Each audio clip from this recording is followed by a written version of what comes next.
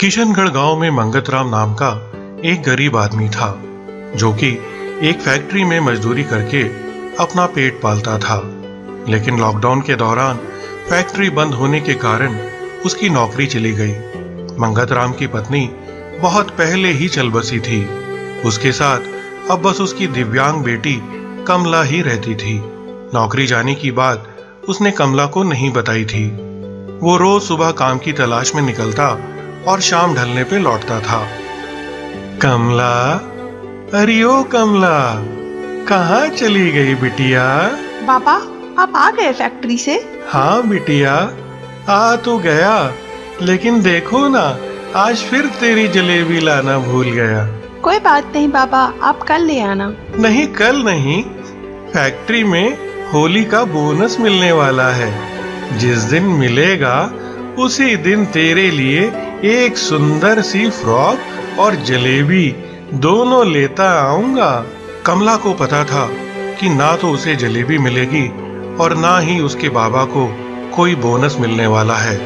वो ये भी जानती थी कि उनकी नौकरी जा चुकी है और दिन भर कहीं दिहाड़ी करके दो पैसे कमाते हैं तो बड़ी मुश्किल से दो वक्त का खाना नसीब होता है। वहीं दूसरी तरफ़ किशनगढ़ में इन दिनों बाइकर गैंग का बड़ा खौफ था। कुछ बदमाश अपनी बाइक्स के साथ गाँव में बहुत लूटपाट मचा रहे थे। जान की सलामती चाहते हो तो सारा माल पैसा हमारे हवाले कर दो, वरना नहीं नहीं, सारा पैसा ले लो, लेकिन हमें जाने दो।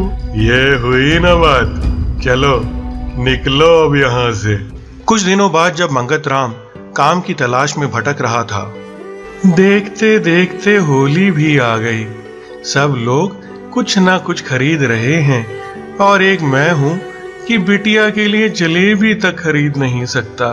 तभी उसकी नज़र एक कपड़े की दुकान के सामने फ्रॉक पहने हुए एक पुतले पे पड़ी और वो पास जाकर उसे देखने लगा। कितनी सुंदर फ्रॉक है। कमला इस फ्रॉक में कितनी अच्छी लगेगी। तभी दुकान का मालिक बाहर आकर बोला ओए, क्या देख रहा है? चोरी करने आया है क्या? तेरी तो शक्ल भी चोरों जैसी है। नहीं साहब, मैं तो बस अपनी बिटिया के लिए ये फ्रॉक देख रहा था। कितने की है ये? ओए, तेरी औकात से बाहर की है। चल जाओ यहाँ से। पैसा ना कौड़ी, बीच बाज़ार में दौड़ा दौड़ी। मंगत राम को सेठ की बात बहुत खराब लगी, लेकिन वो कुछ कर भी नहीं सकता था। उस रोज उसे कहीं काम भी नहीं मिला और शाम को जब वो घर लौटा कमला बिटिया तू खाना खा ले मेरे पेट में दर्द है। पापा थोड़ा तो खा लीजिए। नहीं बिटिया मैं सोने जा रहा हूँ सुबह तक ठीक हो जाएगा।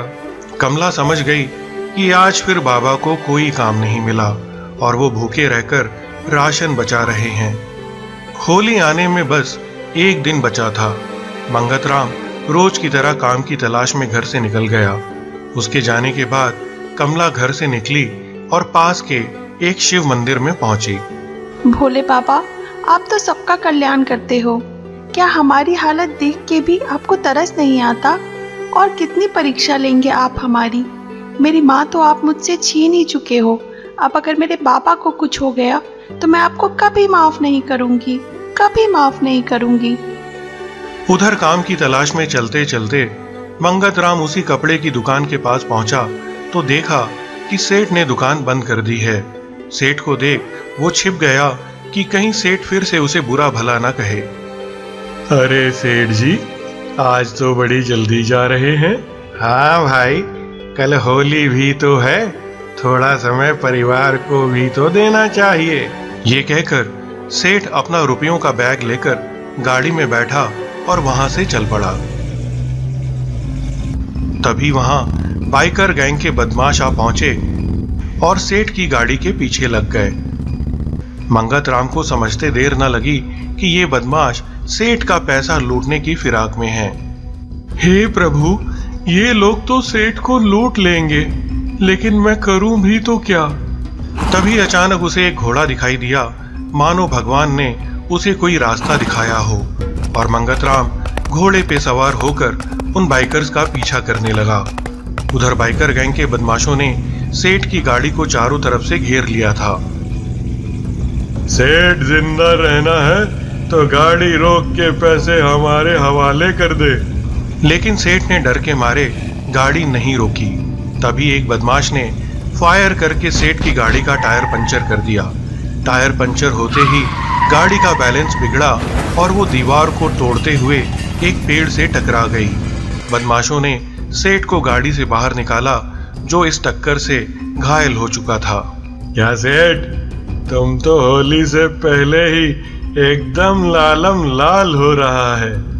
माल निकालो, वरना आज तुम्हारा खून से होली खेला जाएगा। मैं हाथ जोड़ता हूँ। चाहो तो सारा पैसा ले लो, लेकिन मुझे जाने दो। तभी मंगतराम घोड़े से छलांग लगाकर वहाँ पहुँचा।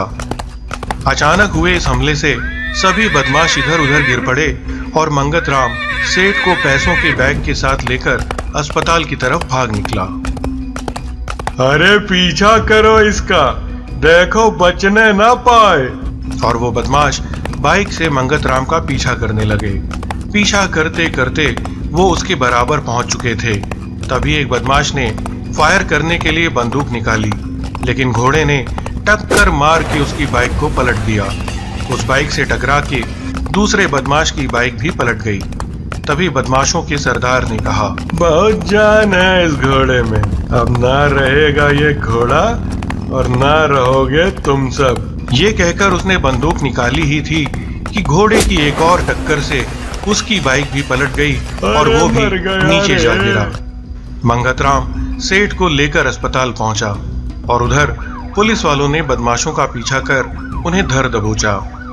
सही समय पे अस्पताल पहुँच जाने के कारण सेठ की जान बच गई। सेठ ने मंगत राम से माफ़ी मांगी और उसे पैसे देने चाहे लेकिन मंगत राम ने कहा सेठ जी बचाने वाला तो ऊपर वाला होता है। और मैंने आपकी मदद पैसों के लिए नहीं की थी। ये कहकर वो वापस घर की तरफ़ चल पड़ा। घर पहुँच के उसने देखा कि कमला ने वही फ्रॉक पहन रखी है जो वो उसके लिए लेना चाहता था। साथ ही वहाँ ढेर सारे रंग और पिचकारियाँ भी थीं। बाबा आप आ गए। देखो ये फ्रॉक कैसी लग रही है। आज तो मैंने खूब जलेबी भी खाई। आखिर आपको नौकरी जो मिल गई है? नौकरी? तभी उसे वहाँ सेठ जी दिखाई दिए। अरे हाँ क्यों नहीं मिलेगी नौकरी? आखिर तुम्हारे जैसे ईमानदार आदमी की हमारी दुकान पे बहुत ज़रूरत है। बोलो करोगे ना नौकरी? नौकरी? करूँगा। ज़रूर करूँगा सेठ जी। और फिर अगले दिन मंगत राम और कमला ने जमकर होली खेली।